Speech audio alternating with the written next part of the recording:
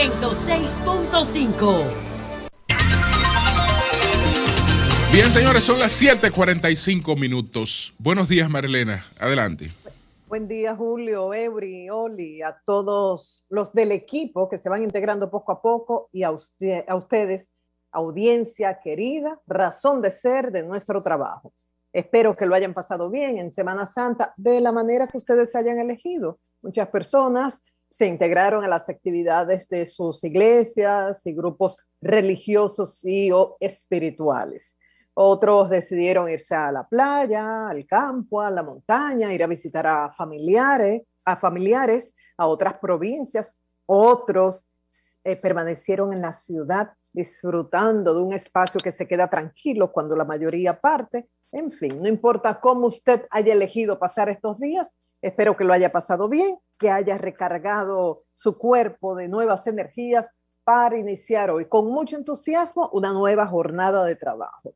Siempre se espera un día como este, lunes siguiente a la Semana Santa, el informe del COE sobre el resultado lamentable de muertes, heridos por los accidentes durante los días de Semana Santa, pero en esta ocasión por el COVID es especial, porque no solamente es importante el informe ya final de hoy del COE, sino también en los próximos días los boletines sobre el COVID que nos dejarán claro si esta aglomeración de los días de Semana Santa van a producir un aumento en el número de contagios, porque cuando uno veía las imágenes y las fotografías de las personas aglomeradas en canes, en las playas, en diferentes sitios de donde se estaban divirtiendo, uno dice, pero esto es del 2021 con, con el COVID en acción y uno lamentablemente no lo creía. Bueno, el informe del COENT en cuanto a los días de Semana Santa, hasta ahora, falta el final, 24 fallecimientos durante la Semana Santa, 143 accidentes de tránsito, 117 en los cuales estuvo involucrados motocicletas, siempre pasa así, es el número más alto, 15 vehículos livianos y 4 automóviles pesados. En cuanto a las intoxicaciones por alcohol, 330 intoxicaciones debido al alcohol fueron atendidas durante estos, estos días. Lo lamentable que 31 personas eran menores de edad, entre 10 y 17 años. Cada año vemos estas cifras, nos preguntamos qué se hace con los padres y los tutores de estos niños, porque se han estado bebiendo a escondidas de los padres que hace un niño de 10 años tanto tiempo bebiendo alcohol sin supervisión o sea, sin supervisión, no para beber alcohol, sino porque ha estado solo. Y si lo ha hecho con consentimiento de los padres, muy grave también. Entonces, acción para estos padres y o tutores irresponsables. Por intoxicación alimentaria, 187 personas atendidas. Por otro lado, hoy dice el COE que continuarán las lluvias. Hay 13 provincias y el Distrito Nacional que están en alerta entre verde y amarillo y una serie de localidades incomunicadas por crecida de ríos en provincias de Puerto Plata, Tajabón y Santiago Rodríguez. Se hizo viral el video de los conductores de una jipeta luchando ahí en Santiago Rodríguez por las fuertes corrientes de un río que se lo llevaban y luego por la acción de personas que vivían en el lugar pudieron ser rescatados. Entonces, esto hasta ahora son los datos del COE, falta el informe final. Por otro lado, parecería que la última prédica de los jóvenes, Elizabeth y Joel, que murieron de numerosos disparos de un grupo de policías, ya ustedes saben, un hecho muy lamentable ocurrido el martes pasado en Villa Altagracia. Parecería que su última prédica sería, basta ya de muertes por error de manos de la policía. ¿Cuándo es que vamos a lograr una eh, reforma integral de la Policía Nacional? ¿Cuándo vamos a ver a la gente uniformado, sea raso o un alto oficial, como un protector, como un defensor del ciudadano? y no como un posible delincuente capaz de matar a cualquiera y capaz de ser cómplice y de aliarse con actividades ilícitas. Quienes van a provocar, a generar esta transformación integral de la policía que se está demandando desde hace años y que está costando muchas vidas. ¿Quiénes van a lograr esto? No se instruye a los agentes de la policía que disparar no es la primera opción. No se instruye a los agentes de las policías que tienen que verificar que en un caso como esto no, no, vale una confusión porque no hay manera de reparar la vida que se ha perdido. Ya esto no aguanta más.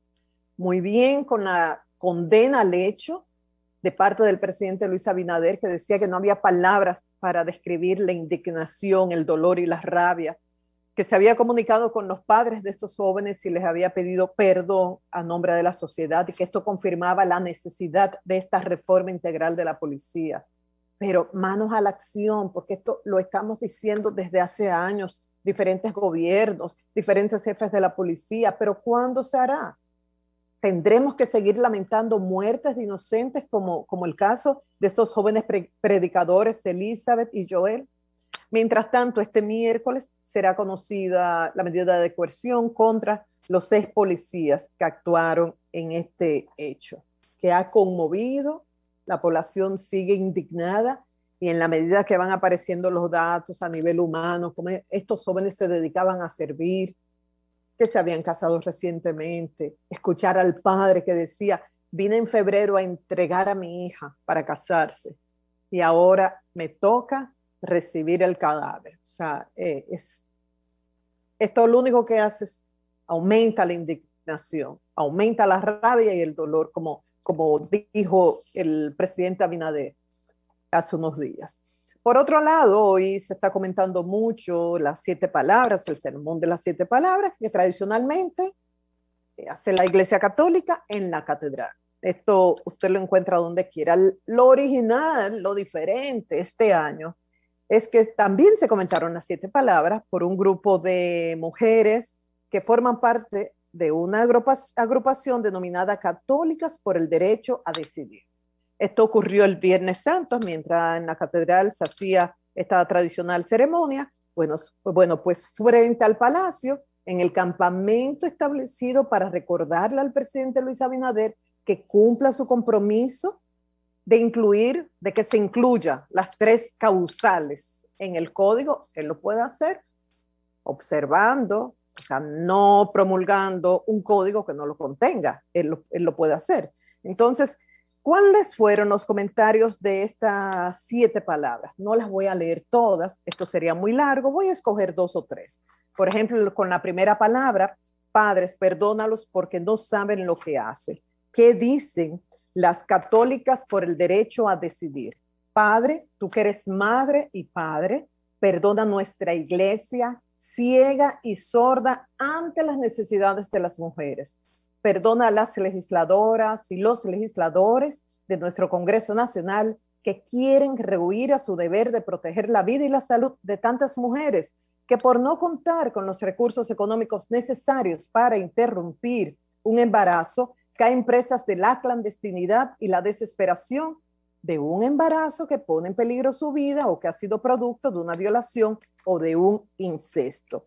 También en cuanto a la cuarta palabra, Dios mío, Dios mío, ¿por qué me has abandonado? Comentaron, Dios mío, Dios mío, ¿por qué me has abandonado? Un grito inconsolable de quienes han perdido a sus hijas por la negativa de los facultativos de prestar un servicio médico oportuno que salvaría la vida ante riesgos de embarazo es un grito desesperado ante quienes han privilegiado al feto, olvidando el valor de la vida de las gestantes. Y para comentar otra, como les dije, eh, comentaron las siete palabras, pero esto sería muy largo. En cuanto a Padre, en tus manos encomiendo mi espíritu, dice, Jesús confiaba en que Él estaba en las mejores manos, las de su Padre. Y hoy ponemos nuestra confianza en el Padre para que escuche el clamor de esas mujeres que quieren salvar sus vidas y que les den la oportunidad de elegir si quieren o no continuar con un embarazo bajo las tres causales. Las mujeres también forman parte del reino de Dios. Estas fueron algunas de las palabras comentadas, de las siete palabras de, pronunciadas por Jesús en la cruz y en este caso en el campamento que está frente al Palacio Nacional. Y finalmente concluyo comentando que ya mañana por fin llega el día esperado por muchos padres eh, y alumnos, padres, madres, tutores y alumnos. No por todos, porque hay, hay diferencias en cuanto a esto, pero muchos anhelaban el retorno gradual, limitado, voluntario a clase y se hará mañana, a partir de mañana. Esto se hará en 48 municipios donde la positividad del COVID está por debajo del 5%. Usted puede entrar a la página web del Ministerio de Educación para confirmar y de seguro que ya a través de, de los maestros, de sus hijos, usted tendrá la información.